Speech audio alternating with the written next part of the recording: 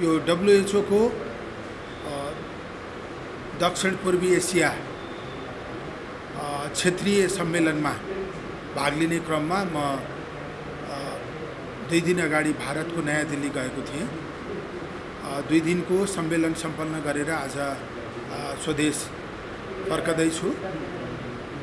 यो सम्मेलनमा खास गरी नेपाल यो यो रिजनको यो क्षेत्रीय समितिको सदस्य भएको नाताले यसका विभिन्न योजना कार्यक्रम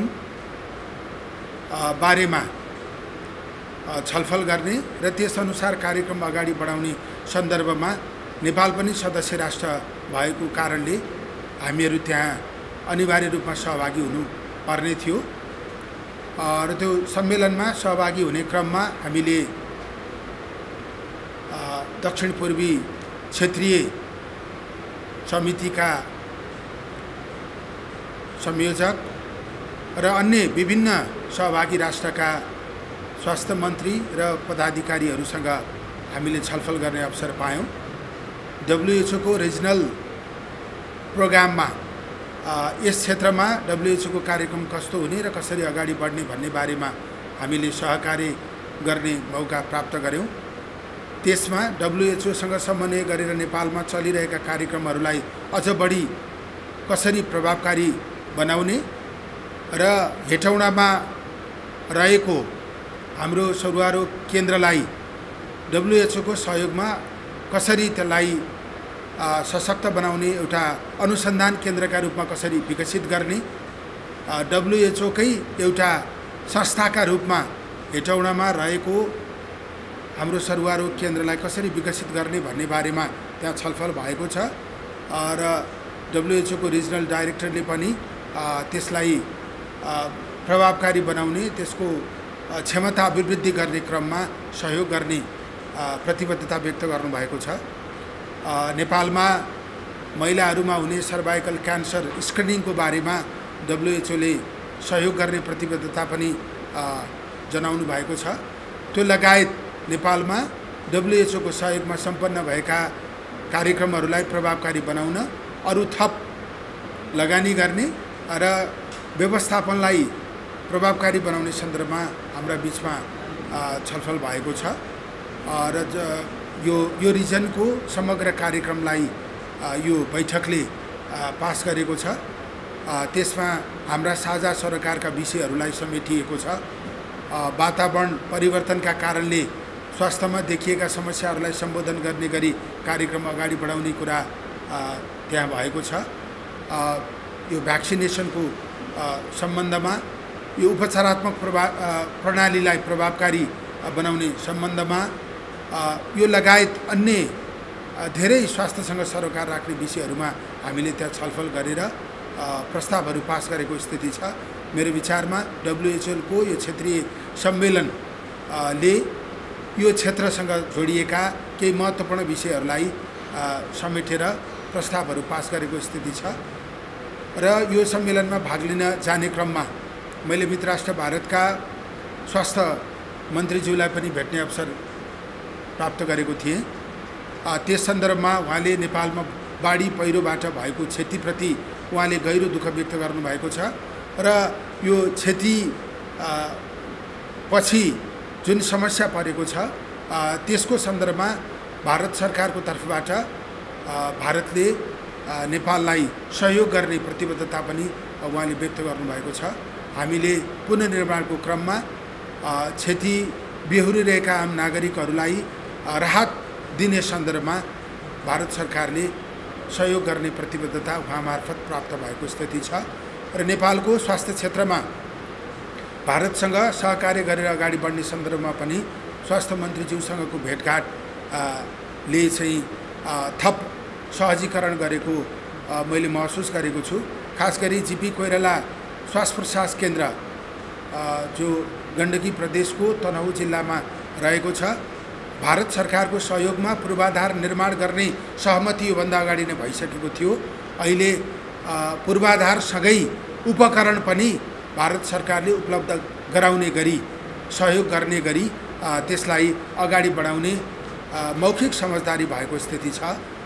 त्यस्तै ट्रोमा सेन्टरलाई अझ व्यवस्थित र त्यहाँको क्याथल्याब लगायत अन्य उपकरणहरू उपलब्ध गराउने सन्दर्भमा पनि भारत सरकारले सहयोग गर्ने प्रतिबद्धता स्वास्थ्य मन्त्रीज्यूले व्यक्त गर्नुभएको छ। नेपालमा सर्पले टोकेर नागरिकहरूलाई जुन समस्या देखिएको छ। त्यसका बारेमा उपचार केन्द्र स्थापना गर्ने र त्यसका लागि सहजीकरण गर्न पनि भारत सरकारले सहयोग गर्ने प्रतिबद्धता व्यक्त भएको छ।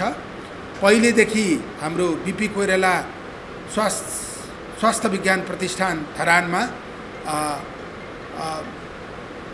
भारत सरकारले सञ्चालन गरी गर्दै आएको एम्स अस्पतालसँग समझदारी भएर सहकारी भइरहेका कामहरू बिचमा यो समझदारी सम्झौता को अवधि सकिएका कारण रोकिएको स्थिति थियो।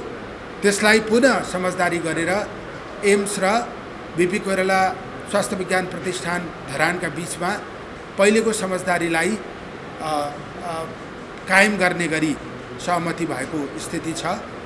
त्यस्तै यो सतहत्तर जिल्लामा यो गर्भवती महिलाको अल्ट्रासाउन्ड गर्ने उपकरण उपलब्ध गराउने बारेमा पनि भारत सरकार सकारात्मक रहेको कुरा स्वास्थ्य मन्त्रीज्यूले हामीलाई व्यक्त गर्नुभएको छ।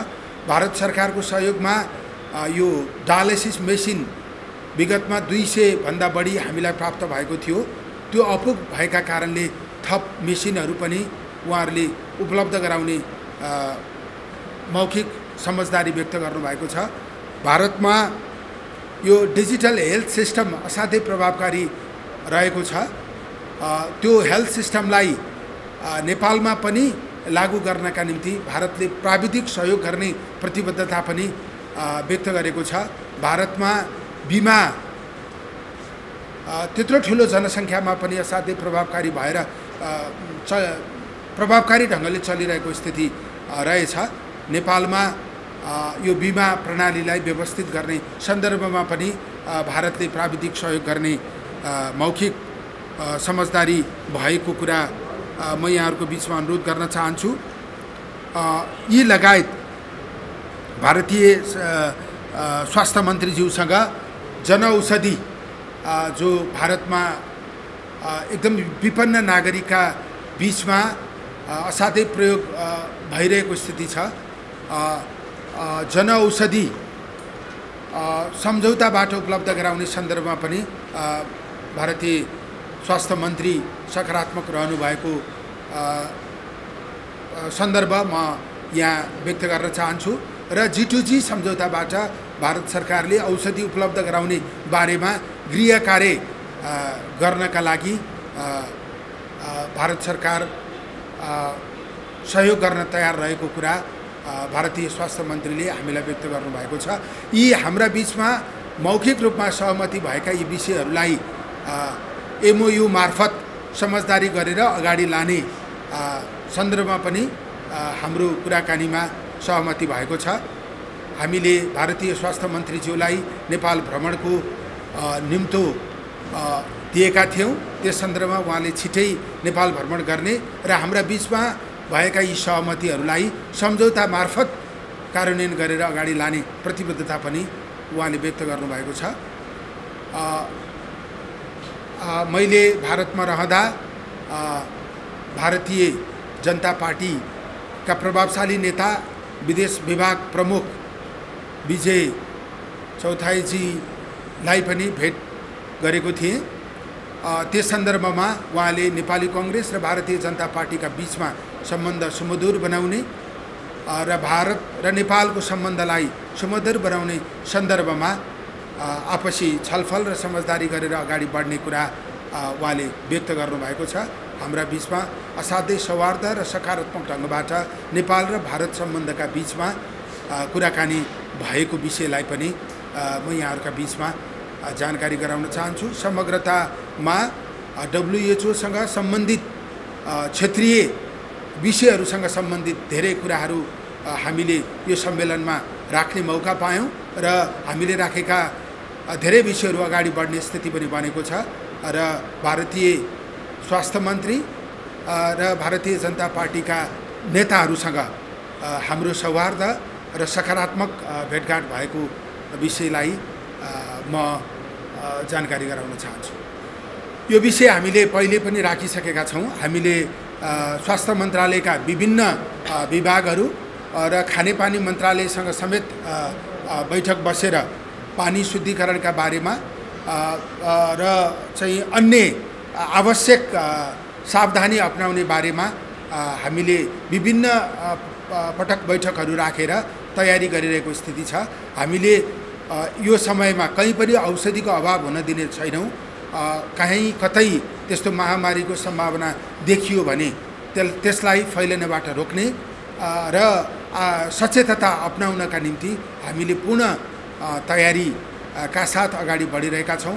सार्वजनिक चेतना विस्तार गर्नका निम्ति विभिन्न माध्यमबाट हामीले चेतनामूलक सूचनाहरू प्रवाह गरिरहेको स्थिति छ। यो चाहिँ पानी शुद्धिकरणका निम्ति आवश्यक पर्ने सबै सामग्रीहरू हामीले विभिन्न तहमा विभिन्न संस्थाहरूलाई उपलब्ध गराएको स्थिति छ। स्वास्थ्य मन्त्रालय अन्तर्गतका सबै संस्थाहरूलाई एकदमै तयारी अवस्थामा हामीले राखेका छौँ।